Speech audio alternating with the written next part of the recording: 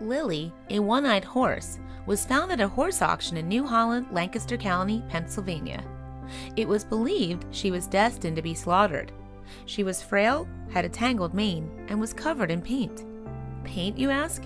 Yes, Lily had been shot over 100 times with a paintball gun, and then she was abandoned. Just a quick note a typical paintball gun shoots at about 200 miles per hour, according to paintball.about.com. Okay, back to the story.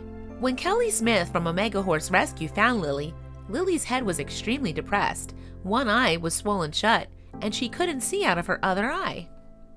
Lily was first taken to the Penn Vet New Bolton Center Animal Hospital and then moved to a nearby city for rehabilitation.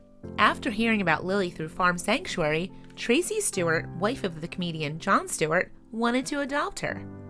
The couple partnered with Farm Sanctuary to get their own facility for Lily. While Lily was recovering, she met another horse, Anita, and the two became really good friends. Anita also had only one eye. The Stewarts saw that Anita and Lily had a special bond and didn't want to separate them, so they adopted both of them. Now, both Lily and Anita will get to live out their lives with each other. They will also get the proper care and love they deserve. For transporting a horse in a bad condition, Philip Price was charged with animal cruelty. He claims Lily wasn't shot with a paintball gun. An investigation is underway. Share away, people!